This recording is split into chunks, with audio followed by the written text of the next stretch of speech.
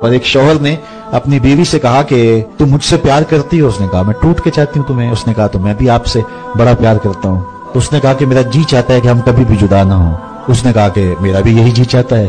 उसने कहा, फिर नमाज़ पढ़ा कर। अगर नमाज़ नहीं पढ़ेगी तो तू जन्नत में होगी, मैं जन्नत में होगा इसलिए अगर हम इकट्ठे रहना चाहते हैं तो फिर हमें नमाज़ पढ़नी होगी। तो उसका जी चाह, प्यार तो ये है ना, कि मेरी बीवी कहीं महरूम ना रह जाए।